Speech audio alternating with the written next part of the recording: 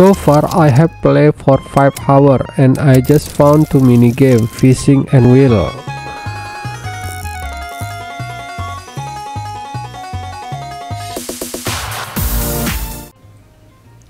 For wheel game, there are two options, namely casual or champion game. If casual game and win, they will only get 10 gold. But if you win in the champion game, we will only get one figure per city. If we have won a figure and try to play the champion game again and win again, we will only get 10 gold. The rules of the of this game are very easy we just win to reduce the enemy blood so that it becomes zero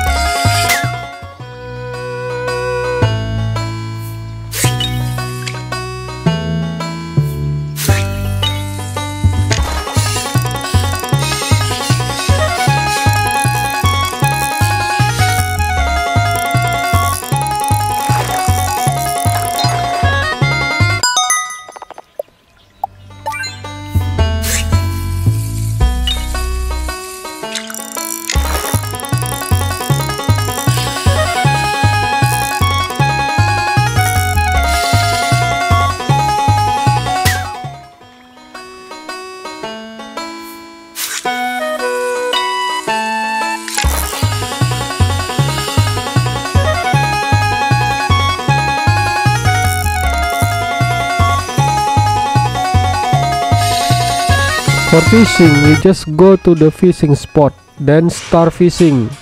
If when you get the fishing, the fishing line flashes the red, then stop pushing the reel button.